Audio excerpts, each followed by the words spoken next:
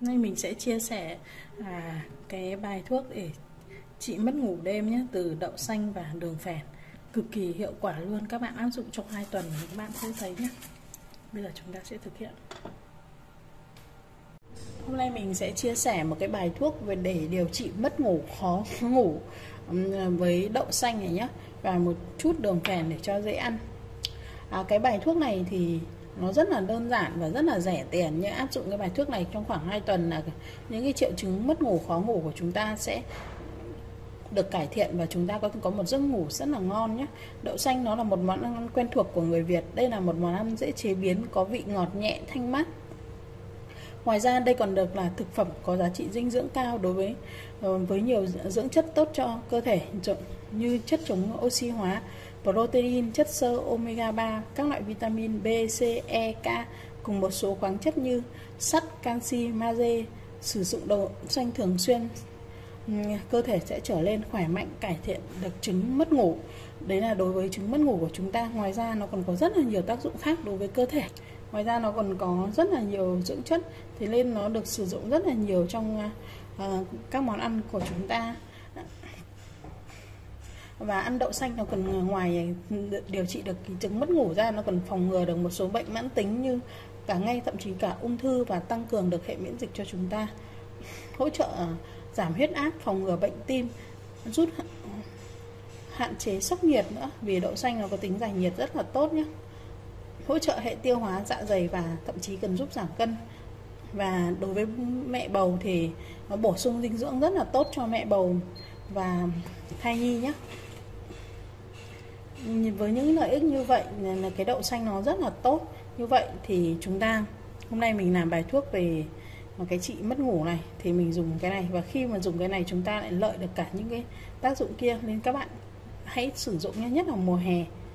Nó cần cái này nó có tính mát, nó làm cho chúng ta trị được cả say nắng à, say nóng à, giải khát, giải độc, lợi tiểu thanh nhiệt, hạ khí, chữa bí tiểu do nóng, phòng bệnh, sở hỗ trợ để tái đái tháo đường và để sử dụng và để làm cái bài bài thuốc này nó như là một món ăn giải nhiệt trong mùa hè thì chúng ta sẽ sử dụng như sau. Và cách làm như sau.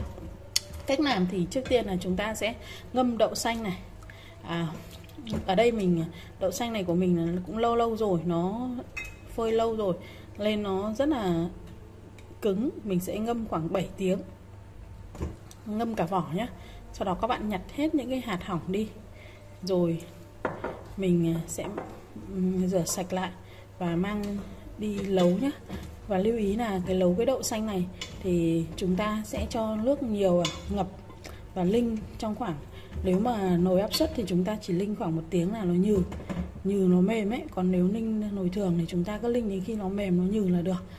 Sau đó ở đây mình sử dụng ở đây là 100g đậu xanh thì mình sẽ dùng với 20g à, đường. Đường này đường phèn nhé để cho cho nó mát nó không bị nóng và đường phèn nó sẽ rất là tốt. Đấy thì mình sẽ kết hợp như vậy. Khi đậu xanh nó mềm nó chín thì mình mới cho đường phèn vào nhé và bây giờ mình cho lên mình đun sủi lên sau đó cho nhỏ lửa vào linh nhé thì khi nó mềm thì lúc đấy mình sẽ cho à, đường phèn vào à, và đun cho nó sủi và tan hết đường phèn là được. Và cái bài thuốc này ấy, thì chúng ta sẽ sử dụng khoảng 2 tuần. Và một ngày hàng ngày chúng ta ăn và sẽ sử dụng sử dụng trong 2 tuần nhé. Và cái này thì áp dụng cho cả nhà. Nếu người không bị mất ngủ cũng ăn được vì nó giải nhiệt mà nó rất là tốt và cung cấp nhiều dưỡng chất cho gia đình. Cho nên ai ăn cũng được nhé.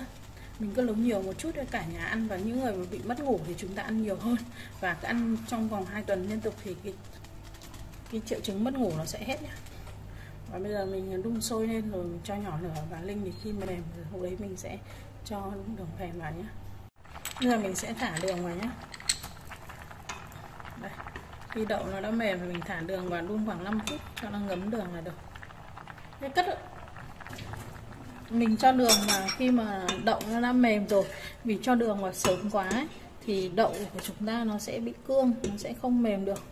Đấy và bây giờ đun sủi rồi và các bạn lại rồi và đường nó nó tan hết rồi. Với cả múc một bát ra như này nhé cả nước nhé và các bạn ăn khi nó còn ấm nhé và cứ duy trì như này khoảng 2 tuần. Mỗi bữa thì chúng ta chỉ ăn, mỗi ngày chúng ta chỉ cần một bát như vậy thôi. Đó. nấu nhiều thì các bạn có để để ngăn mát rồi hôm sau các bạn chỉ cần đun nóng lại. Cứ duy trì trong hai tuần là thận của hàm chúng, thì chúng ta sẽ rất là nên thì chúng ta sẽ ngủ rất là ngon nhé. Mà không no mất ngủ đêm nữa nhé. Và giờ mình, mình sẽ dừng cái clip này đây ạ.